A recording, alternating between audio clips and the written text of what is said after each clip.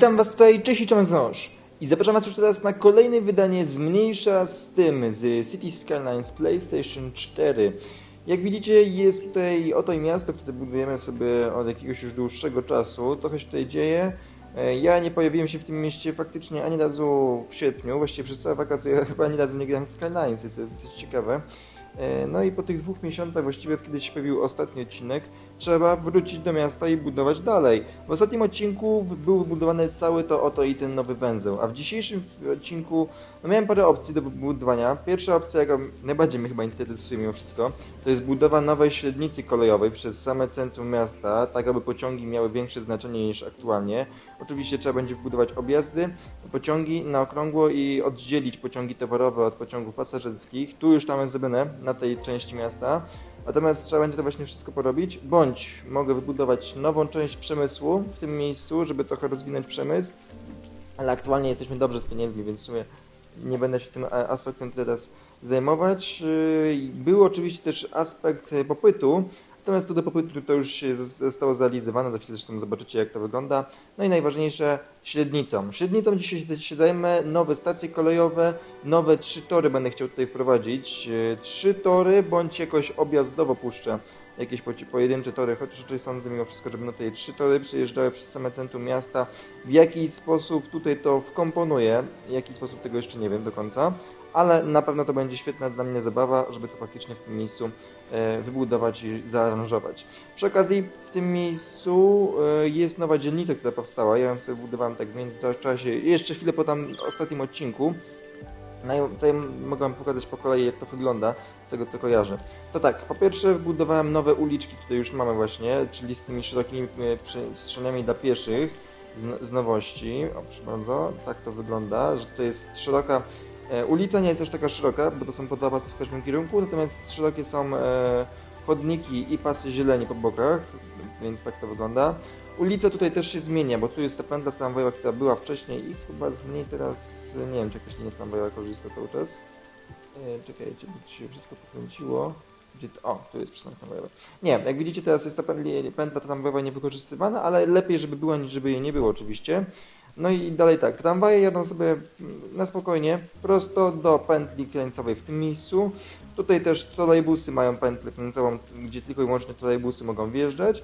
No i trolejbusy przejeżdżają sobie wzdłuż też tej całej trasy, z tym, że trolejbusy oczywiście muszą wjechać w jakiś ciekawy sposób, więc przejeżdżają nowym wiaduktem, który tutaj powstał, do właśnie terenów tutaj aktualnie e, przemysłowych, jeżeli chodzi o wszystkie hangary i pozostałe, znaczy hangary, magazyny, z których jest to wszystko wywożone i one teraz działają, co jest na plus.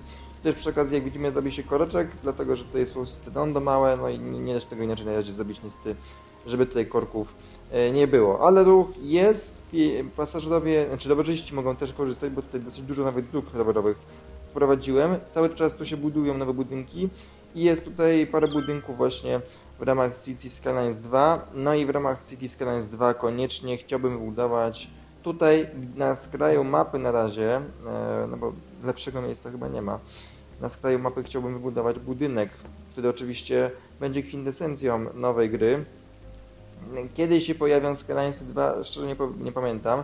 E, Pytacie się mnie w komentarzach, czy będę, czy kupię i czy będę chciał grać. Oczywiście, że kupię, wiadomo. Jakby kto by, e, kto mając przerobione ki- kilka, e, kilka set godzin, no właściwie to już to jest liczone w miesiącach, łącznie non-stop grania w Skylinesy, zresztą przecież kanał Awiznosz rozpoczął się od tego, że ja nagrywam gameplaye ze Skylinesów, no to jak mógłbym nie chcieć kupić e, nowej, nowe, nowego City Skylines? Oczywiście, że, że jestem tym zainteresowany, więc tylko i wyłącznie czekam, aż będzie dostępny tak już normalnie dla ludzi. Cały czas się zastanawiam, czy kupić przedpremierowo, czy na piątkę kupić, no bo jeżeli na piątkę chciałbym kupić, to muszę kupić piątkę, co jest trochę problematyczne.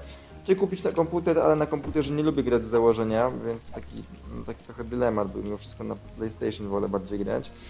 E, No ale muszę się jeszcze zastanowić i cały czas nie jestem w stanie, nie bez powodu mam Skylinesy i na komputerze i na, e, i na PlayStation, e, z tym, że oczywiście na PlayStation gram głównie na komputerze jakoś nie odczuwam zainteresowania zbytnio.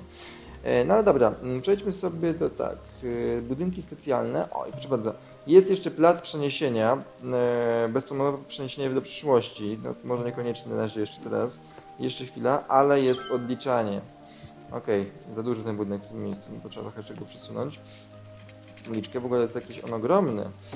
Swoją drogą jestem ciekawy, co się stanie, kiedy dojdziemy faktycznie do zera w tym liczniku. W sensie, co on będzie wtedy pokazywać. Myślę się, że się wyzeruje, tylko czy może będzie odliczać ile, od ilu dni są już Skylinesy, to byłoby ciekawe, ale chyba takie liczniki raczej w ten sposób nie działają. No i wybudujmy sobie ten, oto proszę bardzo budynek i licznik a, pokazuje się, tylko jakoś tak dziwnie pokazuje ten licznik. Nie wiem, może prądu mu brakuje czy coś? No prądu nie ma, ale czy to o to chodzi? Zaraz, zaraz zresztą zobaczymy. Prąd, proszę bardzo, jest. Woda, no chyba jest podciągnięta nawet, ale do, dociągnijmy. Ogólnie jest, dobra, świeci się, świeci się napis, tylko z drugiej strony się ładnie to wyświetla. Zostało 41 dni. Uuu, to niedługo. Faktycznie, to jest już całkiem, całkiem blisko. A, bo trzeba być blisko chyba. Tak, jak jest blisko, a tu jest jeszcze cień. Na żywo, to, to, to, to na żywo pokazuje. Przy okazji możecie sobie obliczyć, kiedy ja aktualnie gadam. E, dwie godziny. Hmm. Pokazuje, no tak, pokazuje tutaj, że to już dwie godziny, 41 dni, czyli o... Hmm, to akurat jest ciekawe, nie, nie spodziewałem się, że o tak... Myślałem, że nie wiem, o północy to wypuszczą, czy coś. A to będzie wypuszczone o 18 za 41 dni. No dobra. Ale 41 dni to mimo wszystko całkiem dużo czasu na moje namyślenie. Może tego czasu jeszcze kupię PS5. I od razu odpowiadając na pytanie, będę dalej grać też w Skylands na, PS5, na, na PS4. Najpierw chcę skończyć całkowicie to miasto i później dopiero będę myśleć o przeniesieniu. Jakby, wiecie, zbyt dużo i tak wydałem pieniędzy na tą wersję miast, y, gdzie kupiłem wszystkie dodatki, jakiekolwiek były i jakby szkoda by mi było teraz całkowicie od tej gry odchodzić. Chociaż nie mówię, że nowe City Skylines 2 nie wygląda ciekawie. Naprawdę jest to dosyć... Z... Poprawili to, co mogliby tutaj poprawić, a jeszcze więcej zabili ciekawych rzeczy. Dobra, to tak, na początku może sprzedajmy trochę akcji, bo trochę tutaj tych rzeczy jest.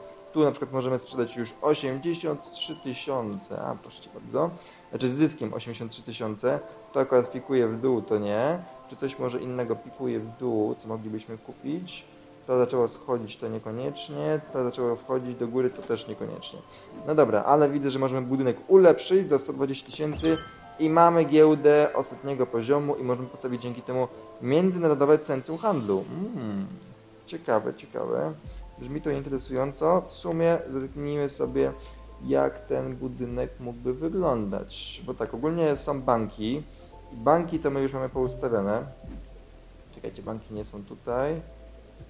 A, tu, widzicie, tak rzadko gram, że teraz ja muszę się połapać co jest gdzie. A to jest bardzo złe podejście. Dobra, banki są chyba w bankach, co nie? To są, ba nie, to są, to są hotele. To są banki, dobra. Dzielnice finansowe, o i są banki i jest, bank wieżowcu. Hmm. Uuu, niezły zasięg to dodaje. Dobra, na razie jeszcze nie potrzebujemy tego typu obiektu, ale możemy postawić Centrum Międzynarodowego Handlu.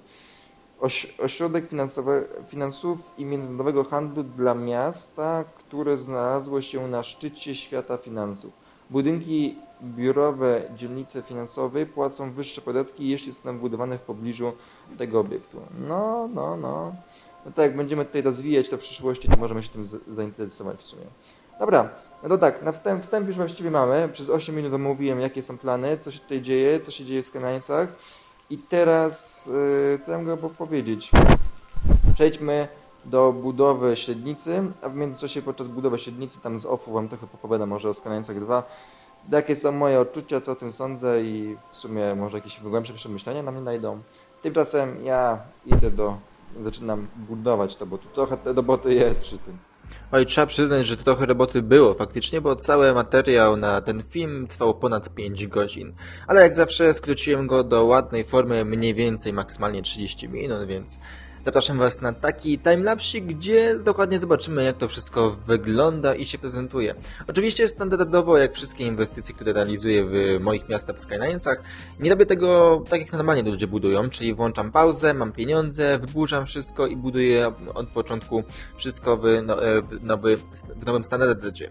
Ja się chcę pobawić, dlatego też przez 5 godzin to robiłem. Pobawić to oznacza, że mam też zamiar robić objazdy i różne inne bariery, tak aby komunikacja i całe miasto mogło być włączone. Oczywiście zobaczycie w niektórych miejscach, że musiałem włączyć pauzę, jak właśnie w tym miejscu, ale to nie oznacza faktu, że przez cały czas tak to wyglądało. Musiałem po prostu w różnych momentach włączać, wyłączać, głównie jak już faktycznie będzie przebudowa na razie głównego dworca.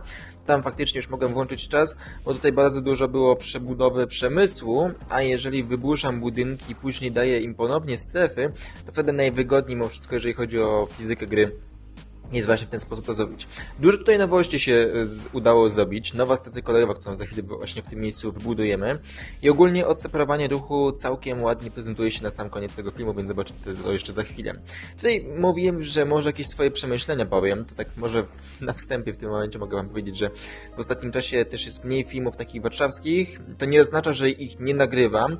Będzie jak zawsze na sam koniec. Większy, masywniejszy materiał znaczy więcej masywnych po prostu filmów zrealizowanych, teraz zachodnie niedługo będzie i jeszcze pozostałe filmy, a teraz po prostu było pomniejszone po pierwsze do tego, że film z Placu Trzy Krzyży został sztucznie wstrzymany przeze mnie, bo jedna osoba mi wysłała w mailu, że jest tam niedoróbka i musi, i po prostu jeszcze dzisiaj będę tam jechać specjalnie, żeby zobaczyć, czy to faktycznie wygląda.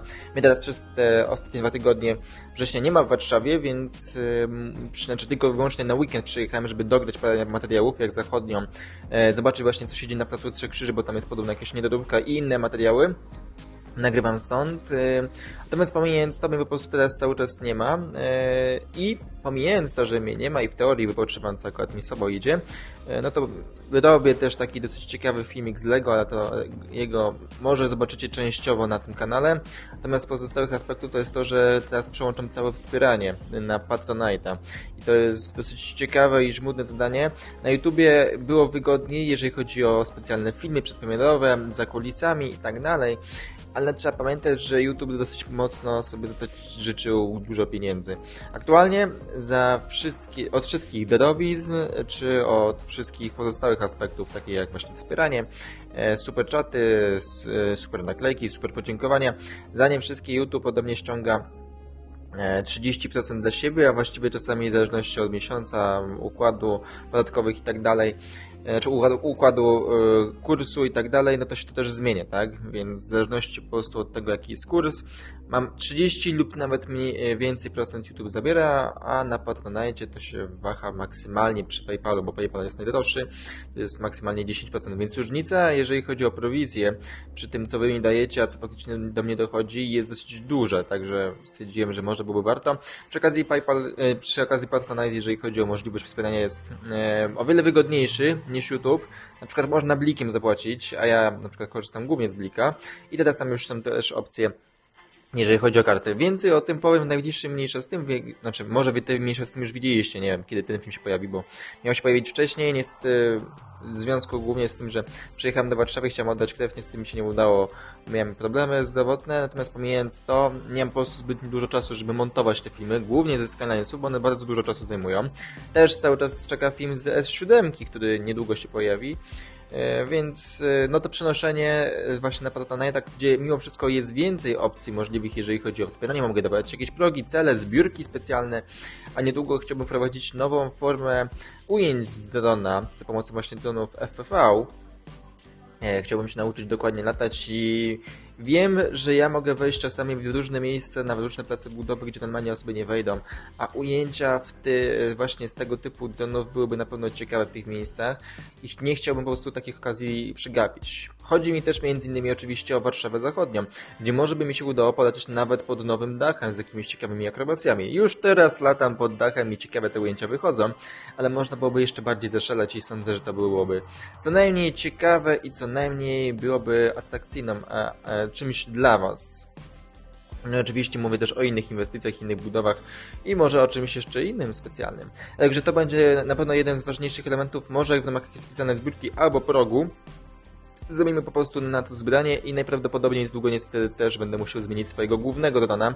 Mój dron ma już ponad 3 lata. W teorii to nie jest dużo, ale jak na sprzęty aktualnie, które się rozwijają, to jest całkiem dużo. Nowe drony by mi mo mocno ułatwiły sytuację, jeżeli chodzi o latanie, bo mają zapamiętywanie trasy, nie musiałbym ręcznie wszystkich odcinków nagrywać, bo wszystkie timelapse, jak macie pokazania, jak to wyglądało kiedyś, jak wygląda teraz, ja wszystko robię ręcznie, e, moim kciukiem, jednym i drugim, wszystko ustawiam, a tam on mógł po prostu robić wszystko z pamięci idealnie, równiutko, za każdym razem by to wyglądało w ten sam sposób. To by było przyjemne, to byłoby wygodne, ale to kosztuje niemałe pieniądze, bo ten dron w dobrym składzie by mnie kosztował z jakieś 7 tysięcy. E, Nie jestem w stanie na to przeznaczyć moich prywatnych pieniędzy, bo prywatne pieniądze muszę przeznaczyć na nowy telefon. Głównie dlatego, żeby też móc na przykład robić transmisje na żywo z różnych inwestycji, e, konferencji czy jakichś innych wydarzeń, bo aktualnie taki nie mam opcji, bo nie mam telefonu ani z Androidem, ani z iOS-em. Znaczy nie mam ani telefonu, mam z Androidem, ale bez usług Google'a i nie mam też iOS-a, więc to też by mi się przydało. E, no, oczywiście telefon też nie jest małym wydatkiem, podobnym jest jak ten nowy dron, więc e, takie atrakcje, no dzięki właśnie Wam wspierającym będzie się dało pewnie łatwiej zrobić. Nie mówię tu o już City Skylines 2, o którym pewnie w kolejnym e, jakimś moim takim właśnie timelapsie powiem więcej, bo mam dużo pomysłów, jakby fajnie by się grało w tamto, ale chyba sam najpierw chciałbym pograć jeszcze w City Skylines Remastered właśnie na tej mapie, aby móc zbudować to miasto do 25 kafelków. Wiem, że to jest trudne, musiałbym kupić PlayStation 5, które też kosztuje swoje i też nie jestem do końca przekonany, że chciałbym kupić teraz tę mm, piątkę, bo nie mam czasu na granie, a muszę jeszcze studia skończyć teraz. No i jeszcze mój drugi kierunek mam już właściwie na ukończeniu i do świąt muszę mieć gotową pracę tam, a później jeszcze licencję trzeba zrobić. No, niestety, trochę tych rzeczy mi się nałożyło w jednym czasie. Ale dobra, wracamy, średnica gotowa. W przyszłości więcej będziemy budować takich inwestycji. No i stało się. Nowa linia średnicowa w mieście została wybudowana w przeciągu chyba dwóch tygodni, jak zawsze przy tych odcinkach. E, chociaż może tutaj nawet tydzień, te, przerwa pomiędzy odcinkami trwała nie aż tak długo. No ale na, na, najważniejsze jest to, że faktycznie nowa linia średnicowa przez sam środek miasta została wybudowana. Nie mówię, że z trudnościami. Na początku musiałem podjąć decyzję, jaki dworzec tutaj wstawić. E, ostatecznie, jak widzicie, to są dwie stacje z linią pośrodku towarową. E, opcja schowania towarowej i towarowej linii kolejowej po prostu pod ziemię i w tym miejscu, zwłaszcza znaczącym, według mnie nie byłoby dobrym rozwiązaniem, no bo nie byłoby nic widać. Tutaj są moje propozycje właśnie tych dworców, jakie miałem. Ten dworzec bardzo lubię, ale on jest zbyt główny, a główną stację gdzie indziej wstawimy i chyba będzie jeszcze większa. To jest ładna stacja na Stare Miasto, a Stare Miasto w innym miejscu będę chciał budować. No i ostatecznie z tą wersją poszedłem. Po, też ważnym aspektem jest to, że ta wersja, pomimo tego, że to są dwa różne dworce, jest najwęższa. Więc po prostu wygodnie się będzie tutaj przesiadać z jednej do drugiej strony. O, tu się coś fajczy. E, ale dobrze, wróćmy do tego, co dzisiaj budowałem w międzyczasie. To tak, po pierwsze, nowa stacja kolejowa zupełnie. Wcześniej tutaj jej nie było. Wcześniej tutaj w ogóle tramwaje przejeżdżały na drugą stronę do przemysłu. I to się całkowicie zmieniło. Po pierwsze, nowa e, linia tramwajowa, która stąd się ciągnie, o właśnie widzicie, zatrzymuje. Wydłużyłem tą linię tramwajową. Pierwotnie ona kończyła tutaj na górze, zresztą tutaj cały czas taka typowo tymczasowa pętla jest zrealizowana. Natomiast teraz zjazd, tutaj jakieś lokale, przejścia, kładki na drugą stronę linii średnicowej, no i stacja z bypassem dla pociągów pośpiesznych, ale nie dalekobieżnych. To oczywiście są dwie różne rzeczy. Tutaj też wejście na kładkę, w taki oto jej sposób i tu nowy węzeł tramwajowy. Na razie tramwaje żadne jeszcze nie idą do góry, ale to jest oczywiście tymczasowe rozwiązanie w przyszłości, można to rozwinąć. Jak widzicie tramwaje mają swoją wydzieloną przestrzeń, samochody nie mają wjazdu na to, tak samo jeżeli chodzi o przystanki tramwajowe, tam też są tylko i wyłącznie mm, tramwaje mogą tędy jeździć. Tak to wygląda tutaj na górze, natomiast zerknijmy na dalszą trasę. E, tramwaje jadą tędy dołem i nie mają już teraz ruchu samochodów. Samochody jadą teraz tutaj górą. Nie jestem szczególnie zadowolony z takiego objazdu teraz tutaj górą, ale na dole nie było miejsca, to jest typowo teraz przestrzeń miejska, e, tak zwane centrum, nowe centrum Warszawy, no to jest mniej więcej to, co właśnie byłoby idealne. I tu przy okazji też lekko musiałem zmienić ten zawijas, e, no bo tu jest po prostu więcej torów, tak? Zamiast jednego to, jednej pary torów mamy trzy pary torów, łącznie sześć torów dokładnie. I tutaj nowe przystanki tramwajowe też musiałem powciskać w różnych to miejscach. E, ścieżki się pozmieniały, ale kładka na drugą stronę pozostała.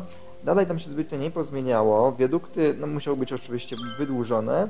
no i zjeżdżamy do nowej przestrzeni miejskiej. Ostatecznie udało mi się zachować ten przejazd bezpośrednio jednokierunkowy na całej długości, co nie było łatwe. Głównie do tego się udało zachować dzięki, dzięki temu wąskiemu rozwiązaniu, jeżeli chodzi o nową stację kolejową. To są dwie stacje. Stacja ta jest podmiejska, ta stacja jest dalekobieżna, jest nawet tydzień się zaczął, więc wszystkie statystyki są na zerze. Pośrodku pociągi towarowe wyjeżdżają tutaj z tunelu, a podmiejskie tutaj wyjeżdżają. One zmieniają tutaj swoją lokalizację w przyszłości coś z tym będę musiał zrobić, jak kupię ten kafelek. Ale to jest daleko idąca przyszłość, jeżeli kupię PlayStation 5 i zagram wersję remastered.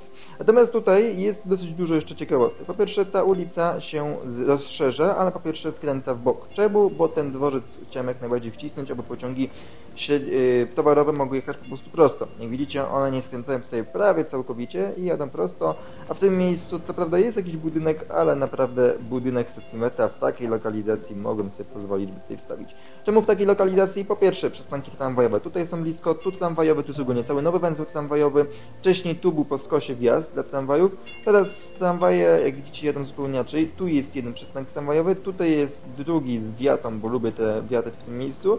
I tu jest kolejny przystanek tramwajowy w tym kierunku, jak również tutaj dla pętli tramwajów, które zawracają i robią takie kółeczko. Ogólnie tutaj tramwaje nie jeżdżą teraz liniowe, wszystkie jadą rzecz jasna obok koło dworca, gdzie mają też drugi przystanek w tym miejscu, tutaj i tutaj. E, nowy parking, większy zrobiłem, z wjazdem tylko i wyłącznie oczywiście od drogi jednokierunkowej, aby to lepiej się składało.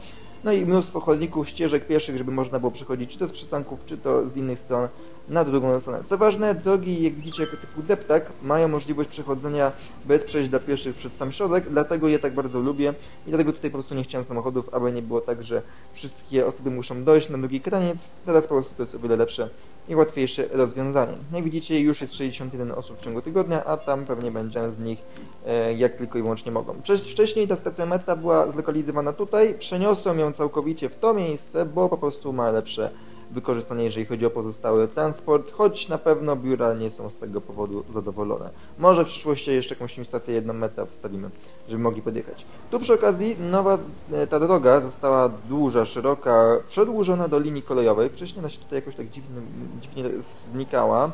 E, z górą był poprowadzony wiadukt nad pociągami, teraz pociągi jadą na estakadzie do samego końca, dzięki czemu jest możliwość zrealizowania różnych przejść pod całością, jak tu, tu i ogólnie linia tramwajowa też tutaj z boku jest po prostu przedłużona, jest przyciśnięta bliżej, dlatego w niektórych miejscach zobaczycie studnie i większe przestrzenie tutaj, o, tutaj są pozostawione różne większe przestrzenie pomiędzy budynkami, żeby po prostu tutaj nie było wielkiej dziury przy linii kolejowej. Tramwaje sobie jeżdżą na spokojnie, są uwielbiane przez osoby, ale głównie dlatego, że E, jeszcze niedawno to był jedyny przystanek w okolicy w związku z objazdami.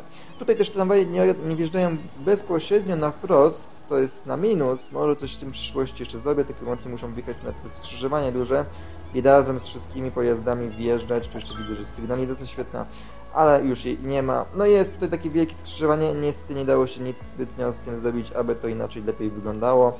Tu też jest chodnik dla pieszych, żeby po prostu połączyć te dwie strefy miejskie. No i tak to wygląda. Tutaj też jest ta wielka aleja przedłużona, jak widzicie takim liftem przejeżdża. Tu jest też cały nowy zespół przystankowy. Przystanek tu, przystanek tu, przystanek tu, gdzie też szeroka ulica się zwęża w tym miejscu. Czy dużo samochodów z tego korzysta? No wiecie, tutaj nie ma przejazdu dla samochodów e, typowych wszystkich. Chociaż można byłoby się nawet nad tym zastanowić, czy po prostu takiego bypassu w tym miejscu, bo w okolicy nie ma, nie zorganizować takiego typowo miejskiego. Ale to dajcie znać w komentarzach, co sądzicie, żeby po prostu tę ulicę przemianować na ruch również samochodowy, lokalny, a nie tylko i wyłącznie na ruch yy, pieszy i dla służb. No i to oczywiście tramwaju. No i dalej na końcu mamy tak, yy, linia się rozszerza. Yy, ta stacja bardzo mi się podobała w tym miejscu z tramwajami, więc nie chciałem jej tutaj usuwać, dlatego po prostu linię yy, średnicową dalekobieżną i towarową przeciągnąłem tutaj z boku za tą całą stację. Tu musiałem trochę wyburzyć budynków, wybudowałem im za to tutaj nową wieżę ciśnień i pozostałe elementy i na razie oczywiście tymczasowe rozjazdy, żeby wszystko mogło się rozjechać. Tu też jest ślepy koniec torów dla pociągów e, miejskich, bo one nie mogą mieć połączenia z pociągami e, regionalnymi, bo po prostu to było wszystko ładnie oddzielone. W przyszłości będziemy się budować na PlayStation 5, jeśli będę jeśli w końcu kupię tą konsolę, ale to jeszcze oczywiście daleko idące plany. Młodego przypomnę, na PlayStation 5 można kupić 25 kafelków, a nie 9, tak jak w wersji podstawowej. No i tak wygląda mniej więcej cała nowa linia średnicowa. Mnóstwo zmian, w okolicy też się podziało. E, ale według mnie na zmianę na plus i na lepsze. Nie mamy korków, wszystko jedzie płynnie. Jak widzicie, pociągi też są ładnie podzielone. Czy to towarowe, czy to e, dalekobieżne, naprawdę faktycznie pociągi się tutaj podzieliły. Czy tutaj na przebudowanym odcinku ostatnio, czy na tym nowym odcinku. Więc w przyszłym odcinku, więcej materiałów, kliknijcie subskrybuj i ten dziwny dzwoneczek i do zobaczenia w kolejnych materiałach na moim kanale. Ten film nie wiem kiedy zobaczycie, ale na pewno Wam się podobał. Dajcie znać w komentarzach jak zawsze Wasze propozycje i jak macie jakieś propozycje na nazwy spytanych ulic, też oczywiście piszcie w komentarzach. Tymczasem do zobaczenia jak zawsze w nieplanowanym terminie w kolejnym odcinku z mniejsza z tym City Skylines. Cześć!